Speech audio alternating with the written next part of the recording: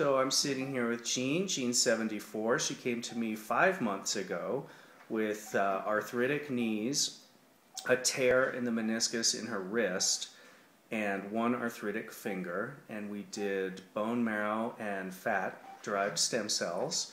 We did one treatment. And why don't you tell us a little bit about what kind of improvement you feel like you've had? Okay, I had a good 50% per improvement on my knees Mm-hmm. um, and 50 to 60% improvement on my wrists and thumbs. I've been able to do Mhm. more with my thumb and everything. So with you with your And- knees, you have less pain, and you feel like you're able to get around better. Oh, yes, until I fell and fractured my kneecap. of course. Yeah, you had that. The really bad pain that was there Mm-hmm. that started in the morning and got worse night, it's Mhm. still gone even after this long a time. That's great. So it's been five months, and then your Mhm. finger and your wrist, you, you can do more with your hands oh, without yes, still pain. can. That's Yeah. great. Good. Well, I'm happy for you.